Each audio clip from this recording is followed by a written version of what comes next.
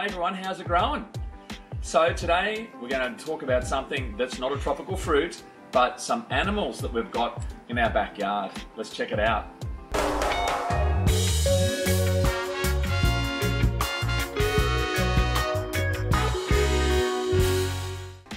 If you're a lazy person and you like our videos, and you're lazy because you don't you don't want to go out of your way to go into our channel and press the subscribe button, lazy people are bad. So go and subscribe, please.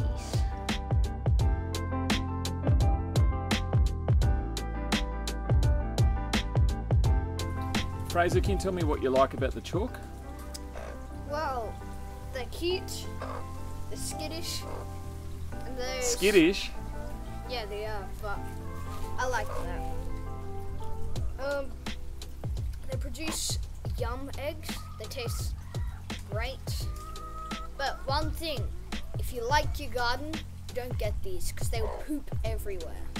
But that's good fertiliser for the garden, right? Yeah, but it'll go on like if you have a pathway, that's gonna be covered in poop and you can't step anywhere. So, otherwise, these guys are awesome.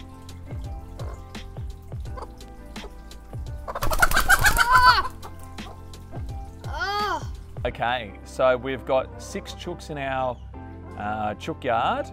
We have three of these beautiful golden coloured chooks and we have three black ones. And one thing that we like, in addition to having the eggs and the chicken manure, is just having them walking around the backyard. Uh, it reminds us of going to Africa and seeing guinea fowls just walking around. So it feels very natural and it's a great thing to have in a suburban backyard. So this is the Silkie, really beautiful chook.